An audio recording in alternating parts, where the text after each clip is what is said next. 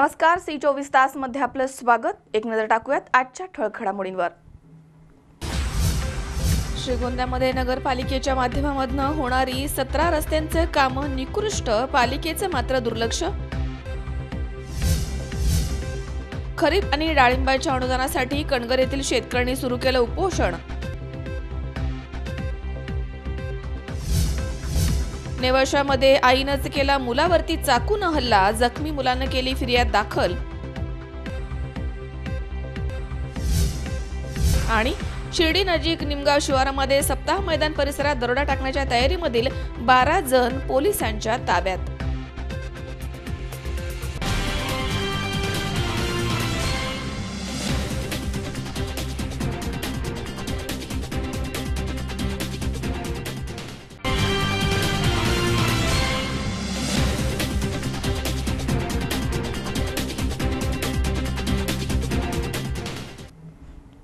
बातमीपत्रात आपलं स्वागत पाहूया सविस्तर वृत्त.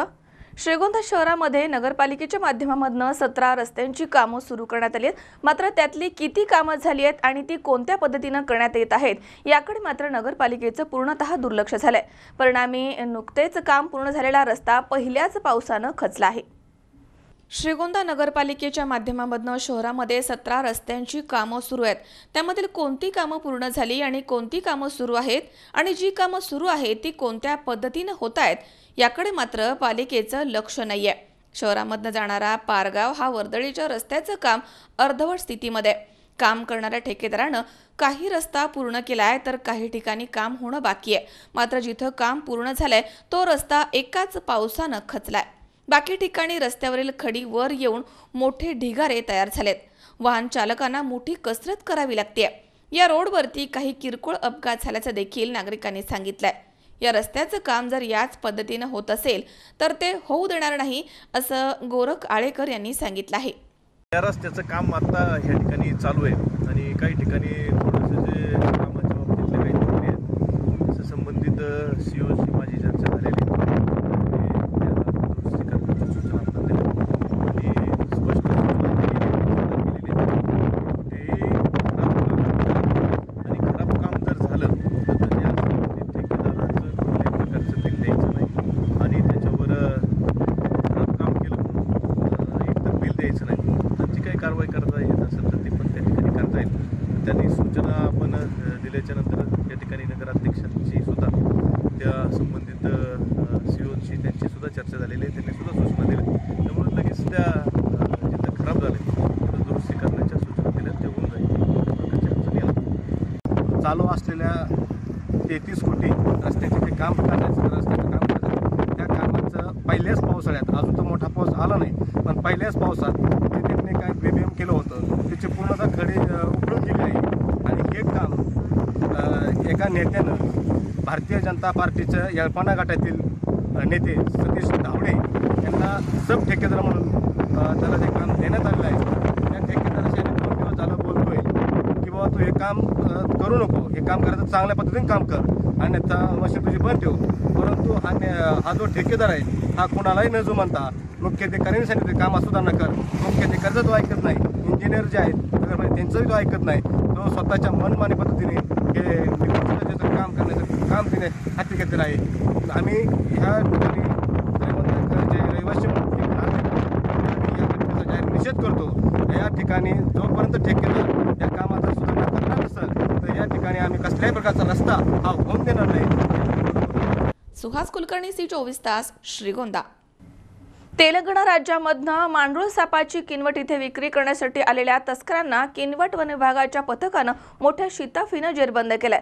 तर साधारण अडीच किलो वजनाचा जिवंत मांडूळ जातीचा साप देखील ताब्यात घेण्यात आला तेलंगणा राज्यामधनं मांडूळ सापाची किनवट येथील गजानन मंदिर इथे विक्री होणार अशी सूचना मिळाल्यानंतर किनवट वन विभागाच्या पथकानं मोठ्या शिताफीनं रबरी कॉर्नर इथे तेलंगणा पासिंगची टाटा विस्टा गाडी अडवून तेलंगणा येथील दोन आरोपींना मांडूळ सापासहित ताब्यात घेतलाय.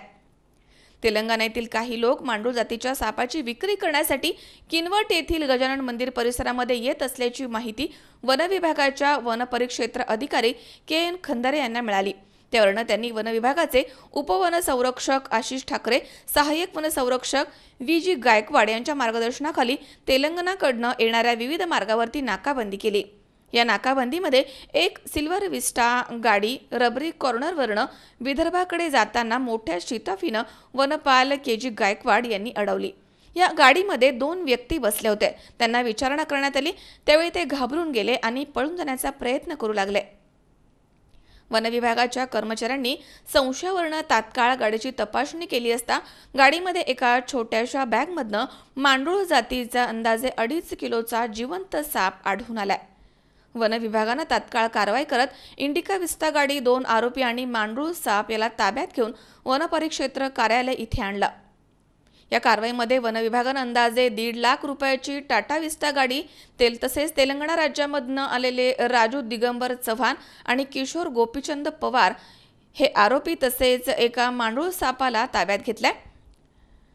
दरम्यान वनविभागाच्या या कारवाईमध्ये वनपाल के जी गायकवाड सांगळे संतवाले शेख फरीद वनसंरक्षक संभाजी घोरबांड दांडेगावकर चुकलवार पवार सोनार कराळे डोईफोडे वनमजूर शेख रफिक पवार गीते फाजगे वाहनचालक आवळे आणि भूतनार आदी वन कर्मचाऱ्यांचा सहभाग होता. मझर शेख सी चोवीस तास नांदेड. श्रीगोंदा येथील जिवाजीराव शिंदे महाविद्यालयास राष्ट्रीय मूल्यांकन आणि मान्यता परिषदेनं तीन पूर्णांक बावीस असे एकत्रित सरासरी श्रेणी गुण देऊन ए श्रेणी दिली आहे आणि नॅकनं महाविद्यालयाच्या कामगिरीचं भरभरून कौतुक केलंय. श्रीगोंदा येथील जिवाजीराव शिंदे महाविद्यालयास राष्ट्रीय मूल्यांकन आणि मान्यता परिषदेनं तीन पूर्णांक बावीस एकत्रित सरासरी श्रेणी गुण देऊन ए श्रेणी दिली आहे. त्यामुळे महाविद्यालयाची कामगिरी खूप छान असल्याचं नॅकनं म्हटलंय. प्राचार्य डॉक्टर ज्ञानदेव म्हस्के यांच्या मार्गदर्शनाखाली दहा आणि अकरा जुलै रोजी संपूर्ण सेवक वृंद नॅकला सामोरे गेला होता. महात्मा गांधी विद्यापीठ नालगोंडाचे कुलगुरू डॉक्टर नरसिंह रेड्डी कट्टा हे नॅक कमिटीचे चेअरमन होते. अमृतसर विद्यापीठाचे प्राध्यापक डॉक्टर हरीश शर्माचे समन्वयक सदस्य होते आणि गुजरात येथील बीजे वाणिज्य महाविद्यालयाच्या प्राचार्या डॉक्टर केतकी शेठ या सदस्या होत्या. जानेवारी दोन हजार चारमध्ये महाराजा जिवाजीराव शिंदे महाविद्यालय पहिल्यांदा नॅकला सामोरं गेलं. त्यावेळी प्राचार्य डॉक्टर कुंडलिक शिंदे आणि समन्वयक डॉक्टर ज्ञानदेव म्हस्के होते आणि बी प्लस श्रेणी मिळाली होती. त्यानंतर नोव्हेंबर दोन हजार अकरामध्ये महाविद्यालयाचे दुसरे नॅक झालं. त्यावेळी डॉक्टर वसंत गणबावले हे प्राचार्य होते. आणि एकत्रित सरासरी गुण दोन पूर्णांक त्र्याण्णव मिळून बी प्लस श्रेणी मिळाली होती. दहा आणि अकरा जुलै दोन हजार एकोणावीस रोजी महाविद्यालयाचे तिसरं नॅक झालंय आणि महाविद्यालयाला एकत्रित सरासरी गुण तीन पूर्णांक बावीस मिळून ए श्रेणी मिळाली आहे. बिंदू तीन पूर्णांक सव्वीसला ए प्लस श्रेणी होती.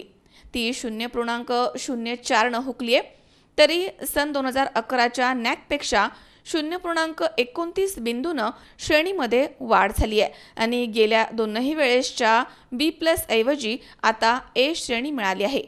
याचं सर्व श्रेय प्राचार्य डॉक्टर ज्ञानदेव म्हस्के आणि त्यांच्या सर्व सेवक वृंद यांचं आहे. संस्थेचे चेअरमन डॉक्टर अनिल पाटील सचिव डॉक्टर भाऊसाहेब कराळे विकास समितीचे चेअरमन माजी मंत्री श्री बबनराव पाचपुते सदस्य आमदार राहुल जगताप आणि बाबासाहेब भोस यांचंही मार्गदर्शन लाभलं आहे. महाविद्यालयाला ए श्रेणी मिळाल्याबद्दल या सर्वांनी तसेच संस्थेचे vice chairman Shri Bhagirath Shinde managing काउन्सिलिंगचे सदस्य श्रीमती मीनाताई जगधने आणि राजेंद्र फाळके विभागाचे चेअरमन श्री दादाभाऊ कळमकर उच्च शिक्षणचे सहसचिव डॉक्टर विजयसिंह सावंत विभागीय अधिकारी श्री संजय नागपुरे माजी प्रभारी प्राचार्य प्राध्यापक तुकाराम दरेकर यांनी प्राचार्य आणि सेवक वृंदाचं अभिनंदन केलंय. महाराजे जिवाजीराव महाविद्यालय श्रीगोंदा या महाविद्यालयास नॅककडून ए ही ग्रेड प्राप्त झालेली आहे. या महाविद्यालयास तीन पॉईंट बावीस एवढा सी जी पी ए प्राप्त झालेला आहे. गेली पाच वर्ष महाविद्यालयामध्ये विविध विद्याशाखांच्यामध्ये जे काही कार्य झालं ज्या पद्धतीची गुणवत्ता या महाविद्यालयाने प्राप्त केली त्याचं परिपाक म्हणून त्याची परिणिती म्हणून या महाविद्यालयास नागकडून ए ही ग्रेड प्राप्त झालेली आहे. शैक्षणिक कामाबरोबरच महाविद्यालयाच्या स्थानिक व्यवस्थापन समितीचे अध्यक्ष माननीय श्री बबनरावजी पा पाचपुते साहेब माननीय श्री बाबासाहेब भोस माननीय राहुलजी जगताप या सर्वांनी जे काही सहकार्य केलं त्या माध्यमातून स्पोर्ट्सचं एक मोठं कार्य या महाविद्यालयामध्ये झालेलं आहे. विशेषतः स्विमिंग पूल असेल इंडोर स्टेडियम असेल विविध प्रकारचे मैदानं असतील याची एक अतिशय वेगळ्या वेगळ्या प्रकारची डेव्हलपमेंट या महाविद्यालयामध्ये झाली. महाविद्यालयाचे माजी प्राचार्य आमचे सन्मित्र प्राध्यापक तुकारामजी दरेकर असतील प्राचार्य गणबावले सर असतील प्राचार्य साळुंके सर असतील प्राचार्य विश्वासरावजी काळे असतील. या सर्व पूर्वसुरींनी प्राचार्य कानडे असतील प्राचार्य डी डी पाटील सर असतील यांनी जे काही कार्य केलं ते कार्य पुढे नेत असताना निश्चितपणे महाविद्यालयाने एक दमदार पाऊल पुढे टाकलेलं आहे आणि सुहास कुलकर्णी सी चोवीस तास श्रीगोंदा. शेवगाव तालुक्यातील भावी निमगाव येथील आनंद साधक आश्रमामध्ये गुरुपौर्णिमेचा उत्सव साजरा करण्यात आला. याच ठिकाणी चांगदेव महाराज गेवराईकर यांचं कीर्तन देखील संपन्न झालं. जीवनामध्ये आलेल्या प्रत्येकाला ज्ञानप्राप्तीसाठी श्रीगुरूची आवश्यकता असते. श्रीगुरूंशिवाय ज्ञानप्राप्ती होत नाही. वैकुंठवासी सद्गुरू विठ्ठलनाथ महाराजांनी रुजवलेले संस्कार आजही भक्तीनं आणि श्रद्धेनं येथील भाविक जपत आहेत. हे येथील धार्मिक कार्यामधनं नेहमीच अधोरेखित होत असतं. त्यामुळे विठ्ठलनाथ महाराज खऱ्या अर्थानं भावी निमगाव आणि परिसराचे श्रीगुरू आहेत. असं प्रतिपादन चांगदेव महाराज काळे गेवराईकर यांनी केलंय. ते भावी निमगाव येथील आनंद साधक आश्रमामध्ये गुरुपौर्णिमेनिमित्त आयोजित हरिकीर्तनामध्ये बोलत होते. यावेळी ज्ञानेश्वर कारखान्याचे प्रमुख मार्गदर्शक माननीय आमदार डॉक्टर नरेंद्र घुले माजी सभापती बाळासाहेब धोंडे माजी सरपंच कचरू शेळके सीताराम महाराज चेडे गोरक्षनाथ महाराज काळे सावता चेडे शंकर घनवट दत्तात्रय काळे राजेंद्र राजगुरू गणेश वाकळे बाबासाहेब चव्हाण कांता जरे किसनराव जाधव गंगाराम शेळके फटांगरे मामा कळूबाबा कुचे रामनाथ जरे सावता गादे मनोहर लोखंडे आदींसह भाविक मोठ्या संख्येनं इथे उपस्थित होते. गुरुजनांविषयी कृतज्ञता व्यक्त करणारी गुरुपौर्णिमा मंगळवारी सोळा जुलै रोजी भावी निमगाव येथील आनंद साधक आश्रमामध्ये सकाळी वैकुंठवासी सद्गुरू विठ्ठलनाथ महाराजांच्या समाधीचा विधिवत अभिषेक आणि पूजा करून करण्यात आली आहे. ग्रंथराज ज्ञानेश्वरी आणि विठ्ठलनाथ महाराजांच्या प्रतिमेची हरिनामाच्या गजरामध्ये गावामधनं यावेळी दिंडी मिरवणूक काढण्यात आली. त्यानंतर आरती भजन हरिकीर्तन हरिपाठ असे विविध धार्मिक कार्यक्रम पार पडलेत. उपस्थित भाविकांना माजी सरपंच कचरू शेळके आणि सेवा संस्थेचे संचालक तुकाराम चेडे यांनी महाप्रसादाचं आयोजन केलं होतं. दर्शनासाठी महाराष्ट्राच्या कानाकोपऱ्यामधनं वैकुंठवासी विठ्ठलनाथ महाराजांचे साधक मंडळींनी इथे हजेरी लावली होती. संदीप देहाडरायसी चोवीस तास शेवगाव. या ठिकाणी वेळ झाली छोट्याशा विश्रांतीची. अवघ्या काही क्षणात परत येतोय. तुम्ही पाहत राहा सी चोवीस तास. जगा वर्तमानात बिनधास्त.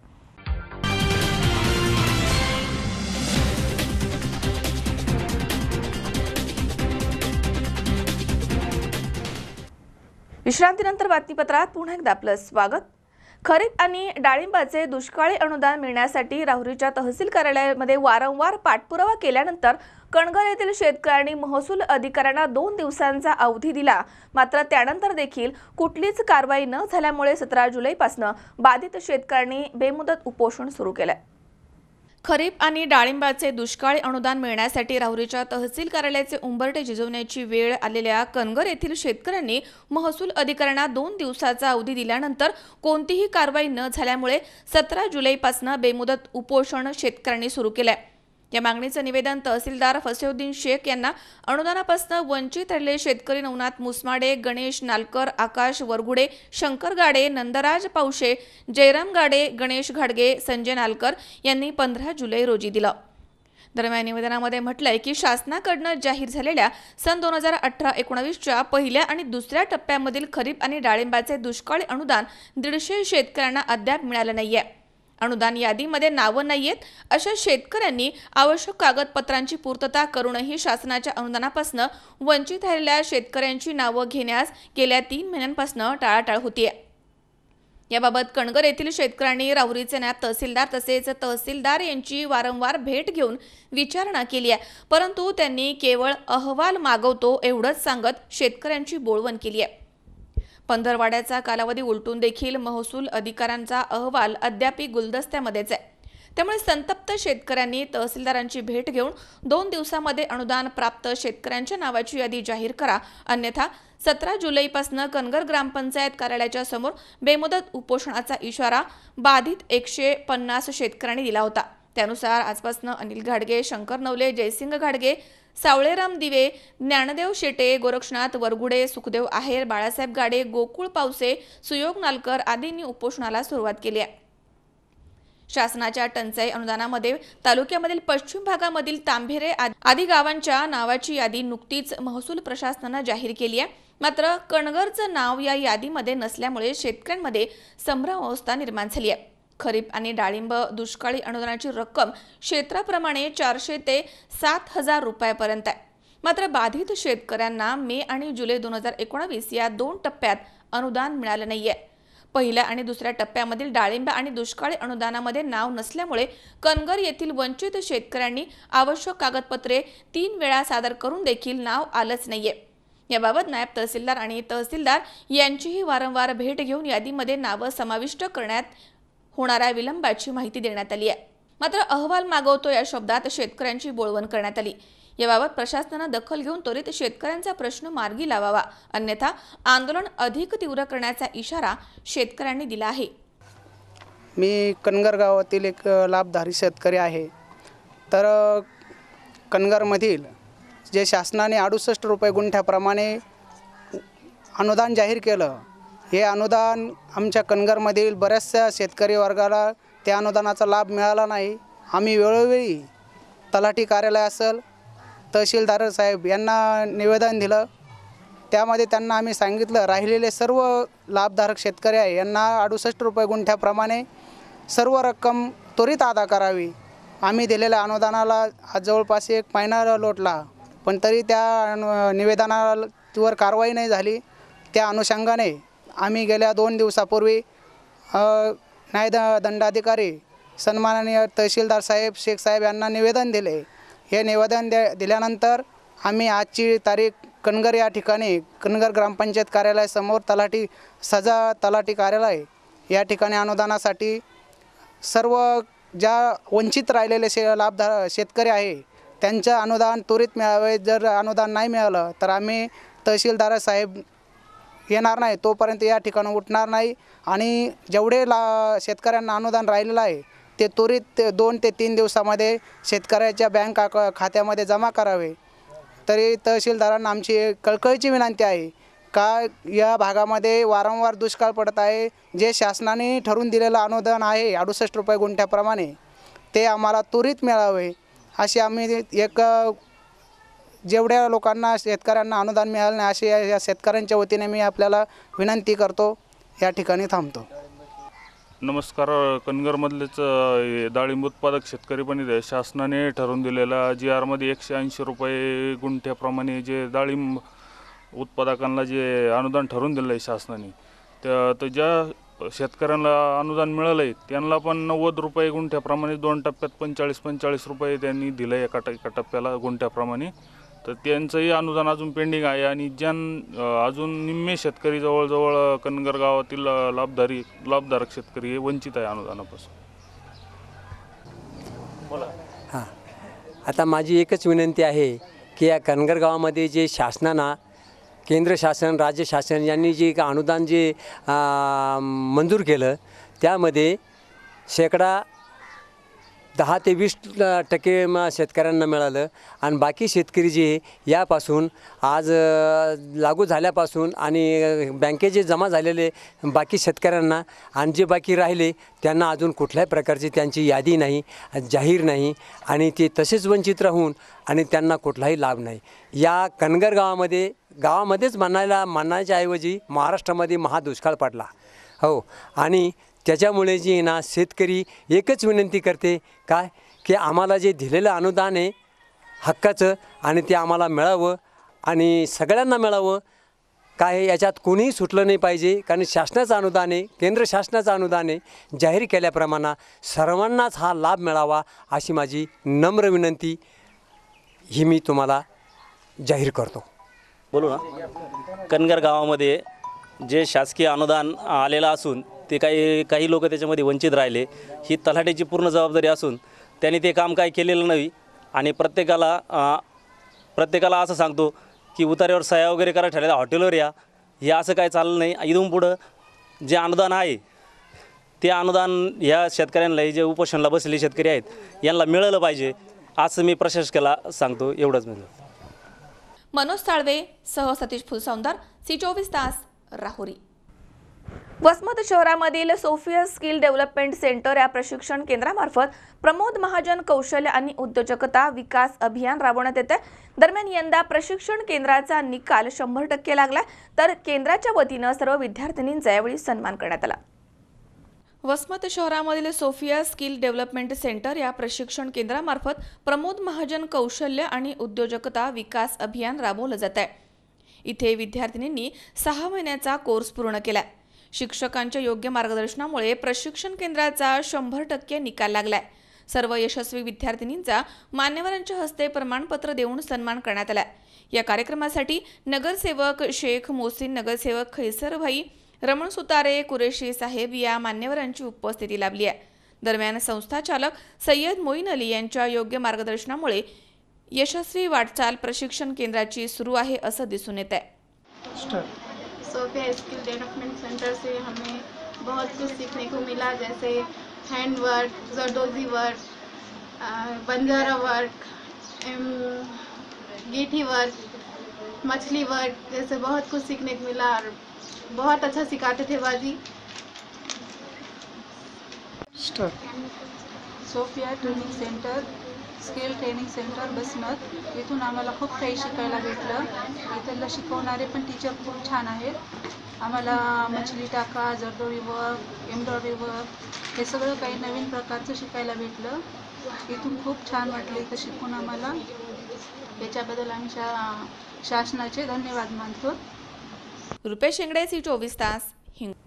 गुरुपौर्णिमेचं औचित्य साधत कर्मवीर शंकरराव काळे सहकारी साखर कारखान्याचे चेअरमन आशुतोष काळे यांनी कोपरगाव तालुक्यातील जंगली महाराज आश्रम कोकमठाण इथे श्री संत जनार्दन स्वामी महाराज आश्रम श्री साईबाबा तपोभूमी मंदिर कोपरगाव इथे जाऊन संत पूजन करून आशीर्वाद घेतलेत भारतीय गुरु परंपरेमध्ये गुरु शिष्याच्या नात्याला अनन्यसाधारण महत्त्व आहे. गुरुपौर्णिमा गुरुला आदर आणि समर्पण करण्याचा उत्सव गुरु शिष्याचं महत्त्व अधोरेखित करणारा गुरुपौर्णिमा उत्सव कोपरगाव तालुक्यामध्ये मोठ्या उत्साहात संपन्न झालाय. काळे परिवाराची संत महात्मा आणि गुरु यांच्याप्रती असलेली आदर भावना ही परंपरा पुढे सुरू ठेवत कोपरगाव तालुक्यातील साजऱ्या होत असलेल्या गुरुपौर्णिमा उत्सवाच्या दिवशी या ठिकाणी उपस्थित राहून संत महात्म्यांचं मनोभावे पूजन करून त्यांचे आशीर्वाद घेण्यात आलेत. कोपरगाव तालुक्यातील कोकमठाण येथील जंगली महाराज आश्रम इथे परमपूज्य जंगलीदास माऊली कोपरगाव बेट भागामधील श्री संत जनार्दन स्वामी महाराज आश्रमाचे परमपूज्य रमेश गिरीजी महाराज तसेच परमपूज्य माधवगिरीजी महाराज यांचं पूजन करण्यात आलंय. तसेच साईबाबा तपोभूमी इथे आशुतोष काळे आणि त्यांच्या सुविद्य पत्नी जिल्हा सहकारी बँकेच्या संचालिका सौ चैतलीताई काळे यांच्या हस्ते साईबाबांच्या प्रतिमेचे आणि चरणपादुकांचं पूजन करण्यात आलं. यावेळी कोपरगाव शहर पोलीस स्टेशनचे पोलीस निरीक्षक राकेश माणगावकर यांच्या हस्ते धूप आरती करण्यात आली आहे. यावेळी साई पालखी काढण्यात आली आणि उपस्थित भाविकांना महाप्रसादाचं वाटप देखील करण्यात आलं यावेळी माजी आमदार अशोकराव काळे तसेच साई भक्त इथे मोठ्या संख्येनं उपस्थित होते.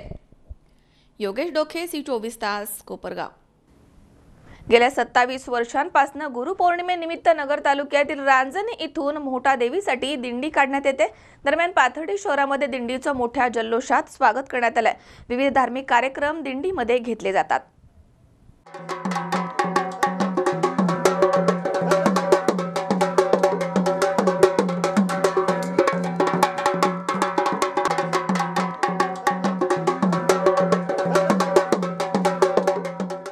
नगर तालुक्यातील रांजणी इथून मोठा देवीसाठी गुरुपौर्णिमेनिमित्त गेल्या सत्तावीस वर्षांपासून दिंडी काढण्यात येते. मुख्य संयोजक प्रयागा गोरे महाराज या दिंडीदरम्यान विविध धार्मिक कार्यक्रमांचं आयोजन करत असतात. श्री क्षेत्र मडी इथे दिंडीचा मुक्काम होतो. यावेळी देवस्थान समितीचे अध्यक्ष अण्णासाहेब मरकड सचिव सुधीर मरकड विश्वस्त ज्योती मरकड सरपंच रखमाबाई मरकड माजी सरपंच भागवत भगवान मरकड आदींनी यावेळी दिंडीचं स्वागत केलं आहे. पाथर्डी शहरामध्ये दिंडीचं मोठ्या जल्लोषात स्वागत करण्यात आलं.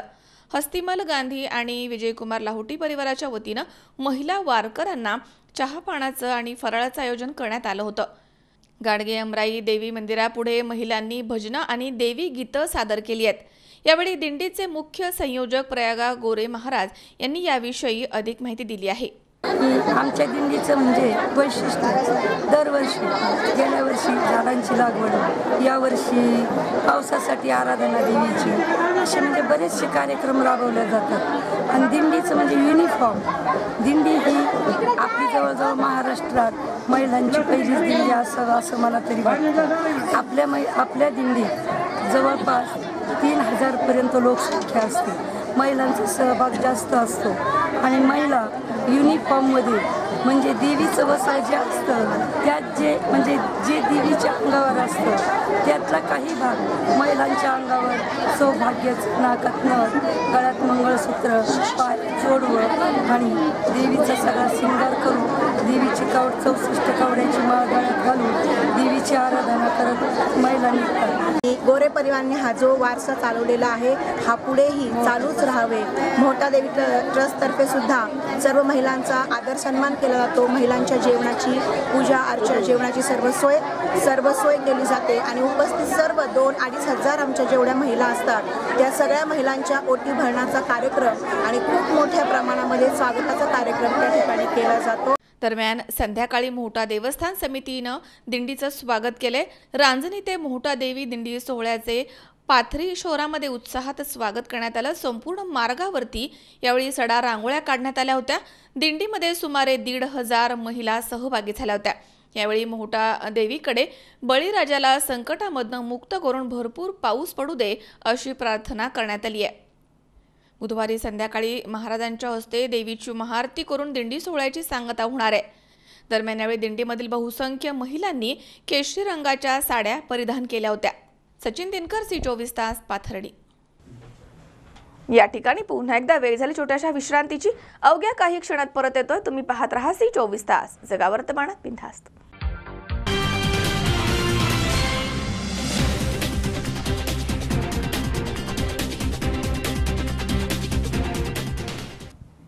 विश्रांतीनंतर बातमीपत्रात पुन्हा एकदा आपलं स्वागत. फोनवर किती वेळ बोलतेस असं विचारण्याचा राग आल्यामुळे मध्यरात्रीभर झोपेमध्ये असणाऱ्या मुलाचे आईनं तोंड दाबून चाकूनं वार केल्याची धक्कादायक घटना नेवासा तालुक्यामध्ये घडली आहे. यामध्ये मुलगा गंभीर जखमी झाला नेवासा तालुक्यातील गिडेगाव इथे मंगळवारी पहाटे हा प्रकार घडला जखमी विशाल साळुंके यानं आई शोभा साळुंके हिच्या विरोधामध्ये गुन्हा दाखल केलाय. फोनवरती किती वेळ बोलतेस असं विचारल्याचा राग आल्यामुळे मध्यरात्री भर झोपेमध्ये असताना आईनं मुलाचं तोंड दाबून चाकून वार केल्याची घटना नेवासा तालुक्यात घडली आहे. यामध्ये मुलगा गंभीर जखमी झाला गिडेगाव येथे मंगळवारी पहाटे हा प्रकार घडला यामध्ये जखमी झालेल्या विशाल दीपक साळुंखे याच्या फिर्यादीवरनं त्याची आई शोभा दीपक साळुंखे हिच्या विरोधामध्ये गुन्हा दाखल करण्यात आला आहे. सोमवारी पंधरा जुलै रोजी रात्री साडेनऊ वाजण्याच्या सुमारास आरोपी शोभा ही फोनवरती बोलत होती. त्यावेळी विशालनं तिला हटकलं की फोनवरती किती वेळ बोलतेस? तेव्हा आई शोभा हिनं मी किती पण वेळ बोलेल तुला काय करायचंय? असं रागानं उत्तर दिलं. त्यानंतर विशाल हा जेवण करून बाहेर अंगणामध्ये झोपला होता. त्यावेळी मध्यरात्री दीडच्या सुमारास त्याचा कोणीतरी तोंड दाबलं आणि त्याला जाग आली. तेव्हा आईनंच आपलं तोंड दाबलं आहे हे त्याच्या लक्षात आलं. मात्र काही कळायच्या आतच आईनं हातामधील चाकूनं त्याच्या कानाखाली आणि तोंडावरती सपासप वार केले. दरम्यान विशालनं हातानं चाकू धरण्याचा प्रयत्न केला मात्र त्याच्या हातावरती देखील वार झालेत. विशालनं कशीबशी आपली सुटका करून घेतली?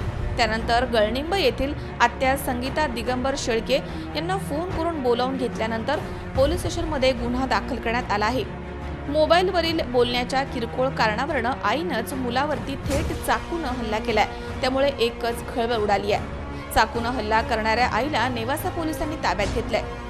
दरम्यान बुधवारी सतरा जुलै रोजी तिला न्यायालयामध्ये हजर करण्यात आलं. दरम्यान महिलेला एकोणावीस तारखेपर्यंत पोलीस कोठडी देण्यात आली आहे. तर पुढील तपास नेवासा पोलीस स्टेशनचे पोलीस निरीक्षक रणजित डेरे यांच्या मार्गदर्शनाखाली police head constable Kailas Salve हे करत आहेत. काल आपल्याकडे एक गुन्हा दाखल झालेला आहे तीनशे सव्वीसचा त्यामध्ये अ, फिर्यादी आहे विशाल दीपक साळुंके तर या- फिर्याद दिली आपल्याकडे की त्याला त्याच्या आईने चाकूने त्याला त्याच्यावर तीन चार वार केले. त्याच्या हनुवटीवर आणि डोक्यावर. त्यामध्ये त्याचं असं म्हणणं की त्याच्या आई फोनवर जास्त कोणीच तरी बोलते फोनवर. म्हणून तो तिला तिने विचारलं बाबा तू कोणाशी बोलत असते एवढं? तर त्याचा राग येऊन तिने त्याला चाकूने त्याच्यावर वार केले. आहेत तर त्याची स्वतःची आई आहे तिला आणि त्याच्या फिर्यादीवरून तिला आम्ही अटक केलेलं आहे. आणि आज रोजी त्याची पी सी आर घेतलेली आहे. तर आपल्याला दोन दिवसाची पी सी आर मिळालेली आहे. तर त्यात आपण त्याचे राख चाकूची रिकव्हरी वगैरे करून पुढचा तपास आपण ते करणार आहोत. शंकर नामदे सी चोवीस तास निवासा. नव्यानेच राहुरी पोलीस ठाण्याचा पदभार स्वीकारलेले पोलीस निरीक्षक मुकुंद देशमुख यांनी तालुक्यामधील अवैध व्यावसायिकांवरती कारवाईचा बडगा उगारलाय. सतरा जुलै रोजी धडक कारवाई करत अवैध दारू त्यांनी जप्त केली आहे. या कारवाईमुळे हॉटेल व्यावसायिकांचे मात्र धाबे आणलेत चार दिवसांपूर्वी राहुरी पोलीस ठाण्याचा पदभार स्वीकारलेले पोलीस निरीक्षक मुकुंद देशमुख यांनी तालुक्यामधील अवैध व्यावसायिकांवरती कारवाईचा बडगा उगारलाय. सतरा जुलै रोजी तालुक्यामध्ये अवैध दारू विक्री करणाऱ्यांवरती कारवाई करून हजारो रुपयांची दारू जप्त केल्याची घटना घडली आहे. या कारवाईनं हॉटेल व्यावसायिकांमध्ये चांगलीच खळबळ उडाली आहे. दरम्यान माहिती मिळाली होती. त्यावरून राहुरी तालुक्यातील तांदूळवाडी येथील हॉटेल अपर्णा आणि रेल्वे स्टेशन येथील हॉटेल साईकृपा इथे पोलीस निरीक्षक मुकुंद देशमुख सहाय्यक पोलीस निरीक्षक सचिन बागुल हवलदार आयुब शेख पोलीस नाईक शिवाजी खरात महेंद्र गुंजाळ यांनी सतरा जुलै रोजी दुपारी दीड वाजेच्या दरम्यान छापा मारला. त्यावेळी त्यांना सदर हॉटेलमध्ये अवैध दारू विक्री होत असताना दिसून आलाय. यावेळी कारवाई करून हजारो रुपये किमतीचा देशी आणि विदेशी दारूचा मोठा साठा पोलिसांनी जप्त केलाय. पोलिसांच्या या कारवाईचं तालुक्यामधील नागरिकांकडनं कौतुक होत आहे मात्र राहुरी तालुक्यामध्ये आणि शहरामध्ये अनेक ठिकाणी दारू व्यवसाय मटका जुगार वेश्या व्यवसाय अवैध प्रवासी वाहतूक वाळू चोरी ही महसूल आणि पोलीस प्रशासनाच्या आशीर्वादानं राजरोजपणे सुरू आहे. तसेच मोटरसायकल चोरी घरफोड्या दरोडे हे दिवसा ढवळ्या सुरू आहेत. अवैध व्यवसायामुळे अनेक वेळा भांडणं होऊन खून झाल्याच्या घटना देखील घडल्या आहेत. अवैध व्यवसाय करणारे राजरोजपणे गावठी कट्टे बाळगताना दिसून येतात या सर्व प्रकारामुळे तालुक्यामधील सामान्य नागरिक मात्र त्रस्त झालेत. राऊरी पोलीस ठाण्यामध्ये नव्यानं रुजू झालेले पोलीस निरीक्षक मुकुंद देशमुख यांनी तालुक्यामध्ये सुरू केलेले अवैध धंदे कायमस्वरूपी बंद करावे आणि राहुरी तालुक्याला गुन्हेगारी मुक्त करावं अशी मागणी सामान्य नागरिकांकडनं करण्यात येते मनोज साळवे सह सतीश फुलसौंदर सी चोवीस तास राहुरी गेल्या सत्तावीस वर्षांपासून गुरुपौर्णिमेनिमित्त नगर तालुक्यातील रांजणी इथून मोठा देवीसाठी दिंडी काढण्यात येते. दरम्यान पाथर्डी शहरामध्ये दिंडीचं मोठ्या जल्लोषात स्वागत करण्यात आलंय. विविध धार्मिक कार्यक्रम दिंडीमध्ये घेतले जातात. दरवर्षीप्रमाणे यावर्षी सुद्धा गुरुपौर्णिमेनिमित्त तीर्थक्षेत्र पोहरादेवी इथे देशाच्या कानाकोपऱ्यामधनं हजारो भाविकांनी गर्दी केली होती. तसेच गुरुपौर्णिमेच्या दिवशीच डॉक्टर रामराव महाराज यांचा जन्म सोहळा असतो. या दुग्ध शर्करा योगामुळे भाविकांची पोहरादेवीमध्ये एकच गर्दी असते. संत डॉक्टर रामराव महाराज यांच्या हस्ते माता जगदंबा जगद्गुरू संत सेवालाल महाराज यांच्या चरणी माथा टेकवून आशीर्वाद घेण्यात आलाय. त्यानंतर महाप्रसाद वाटण्यात आला. त्यानंतर भाविकांना आशीर्वाद देताना संत रामराव महाराजांनी संदेश दिलाय. या संदेशामध्ये त्यांनी मार्गदर्शन केलंय की आई भवानी संत सेवालाल सजीव सृष्टीला सुखी ठेव पाऊस पडू दे अशी आराधना त्यांनी केली आहे. यावर्षी पिकांचं उत्पन्न चांगलं होईल अशी अपेक्षा त्यांनी व्यक्त केली आहे. सर्वांनी खेळमिळेनं बंधू आणि समान भावनेनं आनंदानं वागावं असंही ते म्हणालेत. दरम्यान सोबत डॉक्टर श्याम जाधव यांच्या आरोग्यधाम हॉस्पिटलद्वारा करण्यात आलेल्या आरोग्य सेवेचं देखील विस्तृत असं विवरण करण्यात आलंय. संत रामराव महाराज आरोग्यधाम हॉस्पिटलचे संचालक डॉक्टर श्याम जाधव यावेळी म्हणाले की जनतेची सेवा करणं हाच माझा ध्यास राहील. प्रकाश आडेसी चोवीस तास वाशिम. या ठिकाणी पुन्हा एकदा वेळ झाली छोट्याशा विश्रांतीची अवघ्या काही क्षणात परत येतोय. तुम्ही पाहत राहा सी चोवीस तास. जगा वर्तमानात बिनधास्त.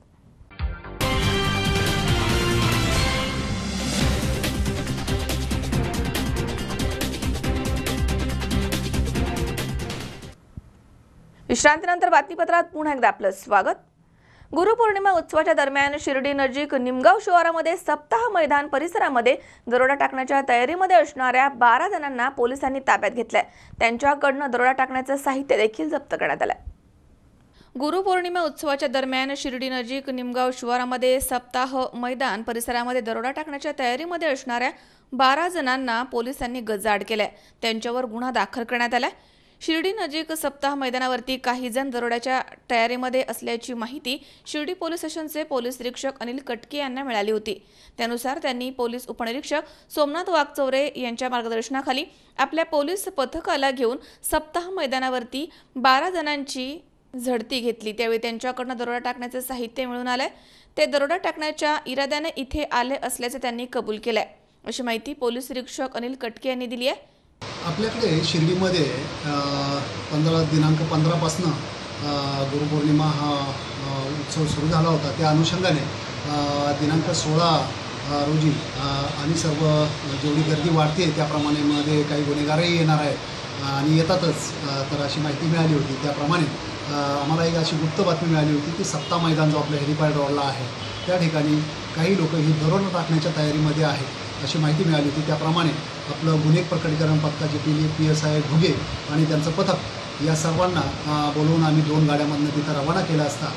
सत्ता मैदान इथं आम्हाला बारा इसम मिळून आले. संशयास्पदरित्या त्यांच्या अंगजडती घेता त्यांच्याकडे लाकडी दांडकी चाकू नायलॉनची दारी नायलॉनची दोरी त्याचबरोबर यांनी स्क्रूड्रायव्हर आणि मिरचीपूड अशी काही सामग्री त्यांच्याकडे मिळून आली आणि त्याबाबत ते काही समाधानकारक उत्तरं देऊ शकले नाहीत. त्यांना विश्व विश्वासात घेऊन त्यांच्याकडे चौकशी करता ते दरोड्याच्या तयारी दरोडा टाकण्याच्या तयारीनेच तिथे जमलेले होते अशी माहिती मिळाली. त्यावरून त्यांच्यावर भादवी कलम तीनशे नव्याण्णवप्रमाणे गुन्हा करण्यात दाखल करण्यात आला असून त्यात बारा आरोपींना अटक करण्यात आली. दरम्यान या प्रकरणी शिर्डी पोलीस स्टेशनला बारा जणांच्या विरुद्ध गुन्हा दाखल करण्यात आलाय तर पुढील तपास पोलीस निरीक्षक अनिल कटके पोलीस निरीक्षक मुगे हे करत आहेत. कुणाल जमदाडे सी चोवीस तास कोपरगाव शहरामध्ये गेल्या काही दिवसांपासून पोलिसांच्या वाहतूक शाखेनं वाहन चालकांना शिस्तीचे धडे देण्यास सुरुवात केली आहे नियमांचं उल्लंघन करणाऱ्यांच्या विरोधामध्ये दंडात्मक कारवाई करण्यात येते आणि या कारवाईमधनं जवळपास सतरा हजार सातशे रुपयांचा दंड देखील वसूल करण्यात आलाय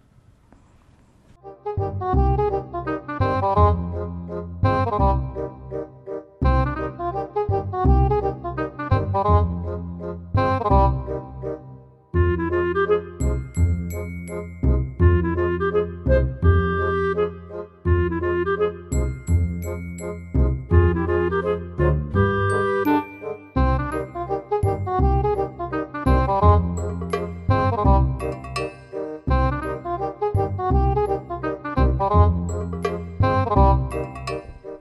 शहर पोलीस स्टेशनचे पोलीस निरीक्षक राकेश माणगावकर यांच्या मार्गदर्शनाखाली दुपारी छत्रपती शिवाजी महाराज यांच्या स्मारकाजवळ वाहन चालकांना शिस्तीचे धडे देण्यास सुरुवात करण्यात आली आहे. नियमांचं उल्लंघन करणाऱ्यांच्या विरोधामध्ये दंडात्मक कारवाईची मोहीम हाती घेण्यात आली होती. शहरामध्ये सर्व प्रकारच्या वाहनांची संख्या दिवसेंदिवस वाढतीये. त्यामुळे रस्ता वाहतुकीवरती याचा प्रचंड ताण येतोय. बेशिस्त वाहन चालकांमुळे अपघात होत आहेत अपघातांचं प्रमाण देखील वाढलंय. बेशिस्त वाहन चालकांना चाप बसावा आणि इतर वाहन चालकांना शिस्त लागावी यासाठी वाहतूक पोलिसांकडनं ही दंडात्मक कारवाई करण्यात येते यामध्ये काही गेल्या दिवसांपूर्वी गोकुळनगरी रोडवरती गाडी चालवताना मोबाईलवरती बोलणाऱ्यांवरती कारवाई करण्यात आली आहे. तर आज रोजी बिगर लायसन्स ट्रिपल सीट मोबाईलवरती बोलणारे फॅन्सी नंबर प्लेट या वाहनधारकांवरती दंडात्मक कारवाई करण्यात आली आहे. दरम्यान यापुढे देखील अशीच कारवाई सुरू राहणार आहे असं पोलीस निरीक्षक राकेश माणगावकर यांनी सांगितलंय. सकाळी अकरा ते दुपारी दोन वाजेपर्यंत कोपरगाव शहरामध्ये जे बेशिस्त वाहन चालक आहेत त्याच्यामध्ये ट्रिपल सीट चालवणे त्यानंतर वाहन चालवताना मोबाईलवरती बोलणे परत लायसन्स नसताना गाडी चालवणे व इतर विविध स्तराखाली जे बेशीचं वाहन चालक होते त्यांना त्यांच्यावरती कारवाई करण्यात आलेली आहे.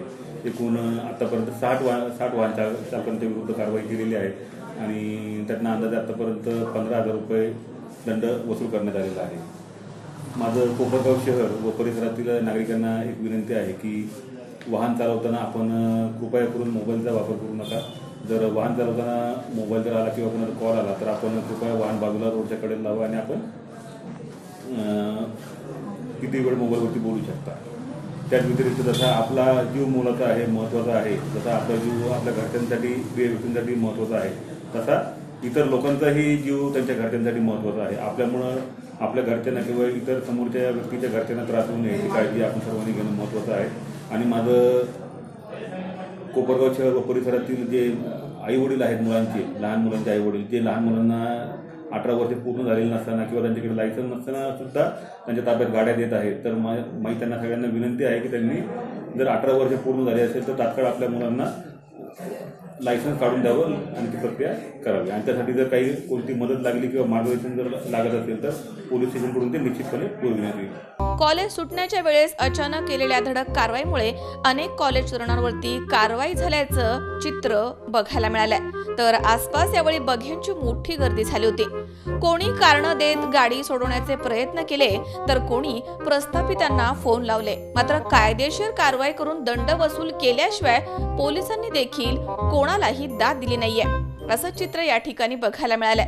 एकंदरीतच पोलीस निरीक्षक राकेश माणगावकर यांच्या या धडक कारवाईचे सुज्ञ नागरिकांकडनं स्वागत करण्यात आलंय. तर कारवाई झालेल्या वाहन चालकांकडनं मात्र नाराजी व्यक्त करण्यात आली आहे. दरम्यान कभी खुशी कभी गम असं चित्र या ठिकाणी बघायला मिळालंय. योगेश डोखे सी चोवीस तास कोपरगाव.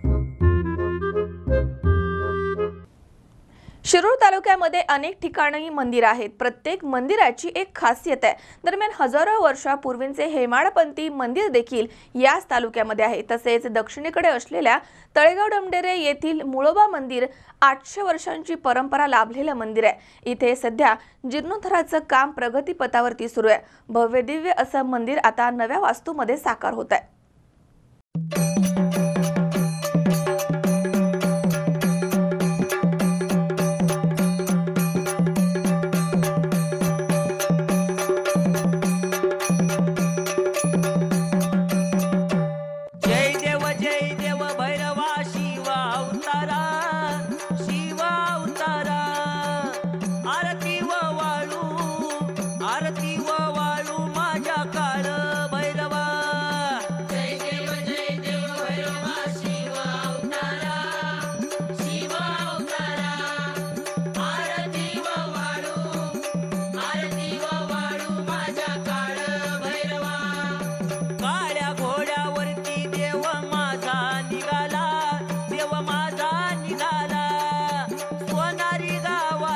तालुक्याच्या दक्षिणेला असणारे तळेगाव ढमढेरे हे गाव. या गावामध्ये अनेक पुरातन मंदिरं अनादी काळापासून बघायला मिळतात.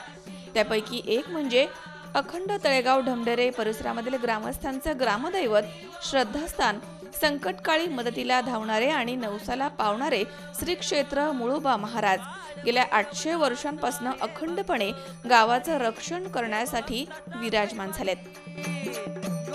सध्या मंदिर परिसरामध्ये मोठ्या प्रमाणात जीर्णोद्धाराचं काम काही स्थानिक युवक आणि ज्येष्ठ नागरिकांनी राजकीय मुक्ताधारेला बाजूला ठेवून एक वीट देवासाठी ही संकल्पना राबवून सुरू केला आहे.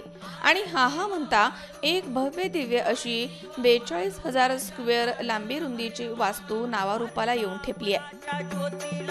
यामध्ये प्रामुख्यानं तळेगाव डमडेरे परिसरामधील हजारो हात या कामासाठी तनमनधनानं धनानं राबत आहेत. पण कुठल्याही कार्याला नुसते भाव असून चालत नाही तर तिथे धनाची गरज देखील भासते. यासाठी अंतिम टप्प्यामध्ये आलेले हे भव्य दिव्य वास्तू सडळ हातानं होण्यासाठी मदत करणं गरजेचं आहे असं आवाहन मंदिराचे विश्वस्त सचिव रमेश दादा नरके यांनी आमचे प्रतिनिधी सुनील पिंगळे यांच्याशी बोलताना केलं आहे. आज नऊ महिने झाले चालू आहे. सर्व लोक वर्गणीतून हे काम चालू आहे. चालू असताना फार मोठ्या प्रमाणात गोरगरिबांनी सर्वांनी सहकार्य केलेलं आहे. आत्तापर्यंत मंदिराचं काम कमीत कमी सव्वा ते दीड कोटीपर्यंत गेलेलं आहे. अजून निम्म काम बाकी आहे.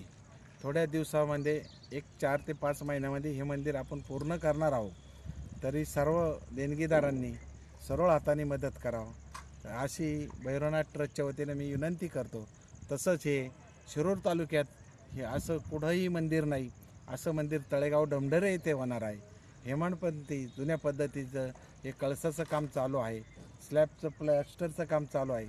तरी मी सर्व पुन्हा सर्व देणगीदारांना सरळ हाताने मदत करावी अशी विनंती करतो. त्याचप्रमाणे आत्तापर्यंत नऊ महिने ह्या भैरवनाथ मंदिराच्या कामाकरता सहकार्य केलेले अशोकराव भुजबळ असतील परशुराम भुजबळ असतील आमचे मित्र बाळासाहेब लांडे आहेत. त्याचप्रमाणे माऊली शेठ नरके राजाभाऊ नरके भानदास पिंगळे दिलीपराव नरके असे आम्ही सर्व मंडळी अनिल शेठ भुजबळ असतील मोहन शेठ भुजबळ आहेत असे कैलास दादा नरके आहेत. बरेच सहकारी आमचे या मंदिराकरता अहोरात्र ज- झटतात आणि या मंदिराचं काम लवकरात लवकर कसं पूर्ण होईल असं त्यांनी सर्वांनी पण केलेलं आहे. रोहिदास भुजबळ असतील रोहिदास भुजबळांनी फार मोठं सहकार्य केलेलं आहे. संजू शेटाप्पा भुजबळ असतील त्याचप्रमाणे सामाजिक सर्व नेते मंडळी आज प्रदीपदादासारख्या मंडळींनी सुद्धा आम्हाला फार मोठं सहकार्य केलं. अशोक बाप्पू असतील सूर्यकांत काका पलांडे असतील आमचे ढोलेनानी असतील असे सर्व अनेक प्रकारचे लोक सर्व गावातील तळेगाव सोडून आणि तालुक्यातल्या सर्व लोकांनी ह्या भैरवनाथ मंदिरावर फार मोठी श्रद्धा असताना देणगी स्वरूपात खडीच्या स्वरूपात इटाच्या स्वरूपात वाळू असेल सिमेंट असेल ह्याप्रमाणे सर्व समाज बांधवांनी त्याचप्रमाणे कळसाच्या कामाकरता म ज्या आमच्या बहिणी असतील मुली असतील ज्या सर्व समाजाच्या मुली बहिणी यांनी कळसाच्या कामाकरता फार मोठी त्यांच्या सहकुशीने आमची भैरवनाथाची यात्रा होती. अजूनपर्यंत नऊ महिन्यात आम्ही जसं जसं आव्हान केलं त्या त्याप्रमाणे सर्व मुलींनी बहिणींनी आत्यांनी कळसाच्या कामाकरता बहिणींचे पैसे असावं मुलीचे असावं म्हणून सर्वांनी फार मोठी देणगी दिलेली आहे. त्यांच्या सर्वांच्या आशीर्वादाने आत्तापर्यंत हे इथपर्यंत आलेलं आहे. कळसाचं काम आता चालू आहे. अनेक मंडळी कळसही देण्याच्या प्रयत्नात आहेत. म्हणून पुन्हा एकदा भैरवनाथ ट्रस्टच्या वतीनं सर्वांना मी आव्हान करतो की आपण कळसा म्हणजे मंदिराकरता एक का व्हायना वीट आमच्या भैरवनाथ मंडळाला सहकार्य करावा अशी विनंती करतो. तर या मंदिर कामासाठी तळेगाव ढमढेरे परिसरामधील मुली ज्या सासरे गेलेल्या आहेत त्यांनी आपल्या माहेरच्या ग्रामदैवताकरता कळसाकरता योगदान दिलं आहे अशी माहिती खजिनदार कैलासदादा नरके यांनी दिली आहे. तरी या गावाचे मुळोबा महाराज यांचे अतिभव्य मंदिर लोकसहभागामधनं पूर्णत्वाच्या दिशेनं वाटचाल करत आहे अति उंच शिखर असलेले तब्बल एकाहत्तर फूट उंचीचा कळस गावाच्या वैभवामध्ये भर घालणारा ठरणार आहे. मुळोबा महाराजांबद्दल असलेले श्रद्धा द्विगुणित होण्यासाठी आणि मंदिरामध्ये काम पूर्णत्वास जाण्याकरता मंदिराच्या जीर्णोद्धारासाठी सडळ हातानं मदत करण्याचं आवाहन अध्यक्ष अनिल भाऊ भुजबळ सामाजिक कार्यकर्ते बाळासाहेब लांडे ग्रामपंचायत सदस्य मोहनराव भुजबळ तसेच सर्वच आजी माजी मुळोबा महाराज ट्रस्टचे विश्वस्त तळेगाव ढमढेरे ग्रामस्थ यांनी केलं आहे. मी जवळपास वीस वर्षापासून काम करतो आणि हे माझं दीडशे दीडशेवं मंदिर असेल आतापर्यंत एकशे एकावन्न मंदिर झाले असतील माझ्या हातावर. सगळ्या मंदिरापैकी ह्या मंदिराचं काम तुम्हाला कसं वाटलं? ह्या सगळ्या मंदिरापैकी हे मंदिर जरा हेमाडपंथी घेतलेलं आहे आणि ह्याच्यामध्ये फार पुराणी डिझाईन आहे. मला ह्या कामाला बांधकामाला सरासरी एक ते सव्वा महिना जाईल आणि कोरीव डिझाईनचं काम जवळपास दीड महिना. दीड महिन्यामध्ये होईल. ज्या आतल्या मंदिराच्या गाभाऱ्याची जी रचना आहे याच्यासाठी तुम्ही काय खबरदारी घेतली? ज्या आतल्या गाभाऱ्याची जी आतल्या डोमाची जी रचना आहे तर त्याचं सेंटर काढतो आम्ही. सेंटरला एक खिळा मारून त्याच सेंटरवर अ, पूर्ण असं अ, डोमाचं काम एकाच खिळ्यावर असं शेवटी एका इटावर. येईल हा त्याला म्हणतात डोम. साधारण किती दिवसामध्ये हे काम पूर्ण होईल? पूर्ण? हे साधारणतः हे कळसाचं काम तीन महिन्यामध्ये पूर्ण सुनील पिंगळे सी चोवीस तास शिक्रापूर.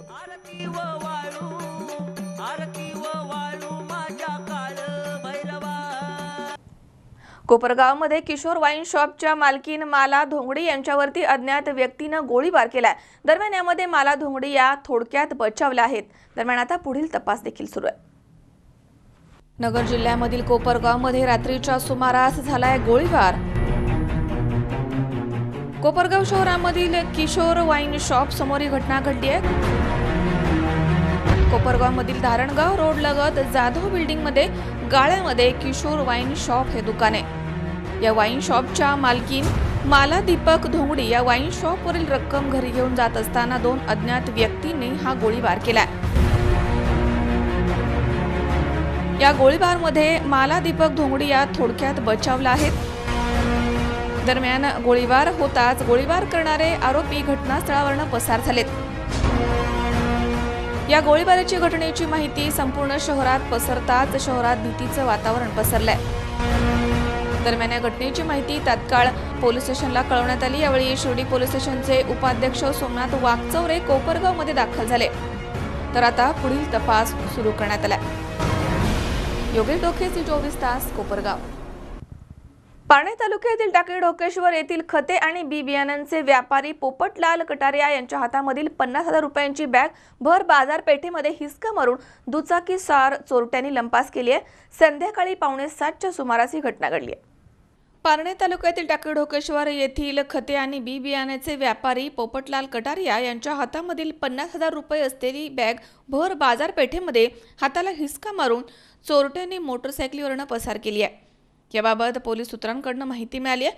टाकळी डोकेश्वर येथील पोपटलाल माधवलाल कटारिया यांचे बसस्थानकाच्या जवळ खते बी बियाण्याचं दुकान आहे.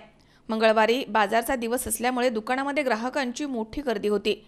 दरम्यान संध्याकाळी पावणे सातच्या सुमारास दुकानामधील हिशोब ताळेबंद करून दुकान बंद करून जमा झालेले पैसे बॅगमध्ये भरून घराकडे जात असताना गणेश बेकरीच्या समोर पाठीमागनं विना नंबरच्या मोटरसायकलीवरनं आलेल्या दोन चोरट्यांनी त्यांच्या हातामधील बॅग हिसकवून मुख्य बाजारपेठेमधनं अतिवेगानं पळ काढलाय. पोपटलाल कटारिया यांनी यावेळी आरडाओरडा केल्यामुळे ग्रामस्थांनी चोरट्यांचा पाठलाग केला परंतु अंधाराचा फायदा घेऊन चोरटे पसार झालेत. पारनेर पोलीस स्टेशनचे पोलीस कॉन्स्टेबल भालचंद्र दिवटे महेश आवाड विनोद बोरगे यांनीही मांडवेपर्यंत पाठलाग केला. पण चोरटे वडगाव सावताळ वनकुटे मार्गानं पसार झाल्याचं समजत आहे पारणेचे पोलीस निरीक्षक बाजीराव पोवार पोलीस उपनिरीक्षक Kavita Bhujbal police head constable यांनी तातडीनं घटनास्थळी भेट देऊन तपासाची सूत्रं फिरवली आहेत. रात्री उशिरापर्यंत सीसीटीव्ही फुटेज तपासण्याचं काम सुरू होतं. दरम्यान याबाबतची फिर्याद पोपटलाल माधवलाल कटारिया यांनी टाकळी ढकेश्वर दूरक्षेत्रामध्ये दिली आहे. पुढील तपास पोलीस निरीक्षक बाजीराव पवार आणि पोलीस उपनिरीक्षक कविता भुजबळे करत आहेत. सदर घटना टाकळी ढोकेश्वर येथील मुख्य बाजारपेठेमध्ये घडली आहे. चोरटे या पेठेमधनं मोटरसायकलीवरनं पसार झाले आणि त्यांना या ठिकाणी कोणीही पकडू शकलं नाहीये. अशा घटना वारंवार होऊ नये यासाठी गावामध्ये सीसीटीव्ही कॅमेरे बसवण्याची मागणी ग्रामस्थांमधनं करण्यात येते या घटनेमुळे टाकळी ढोकेश्वरमध्ये भीतीचं वातावरण पसरलंय. दरम्यान ग्रामस्थांनी सतर्क राहणं गरजेचं आहे. विनोद गायकवाड सी चोवीस तास पारनेर. पुन्हा एकदा पाहूयात काही ठळक घडामोडी. श्रीगोंद्यामध्ये नगरपालिकेच्या माध्यमामधनं होणारी सतरा रस्त्यांचे कामं निकृष्ट पालिकेचं मात्र दुर्लक्ष. खरीप आणि डाळिंबाच्या अनुदानासाठी कणगर येथील शेतकऱ्यांनी सुरू केलं उपोषण. नेवाशामध्ये आईनंच केला मुलावरती चाकून हल्ला जखमी मुलानं केली फिर्याद दाखल. आणि शिर्डी नजीक निमगाव शिवारामध्ये सप्ताह मैदान परिसरात दरोडा टाकण्याच्या तयारीमधील बारा जण पोलिसांच्या ताब्यात.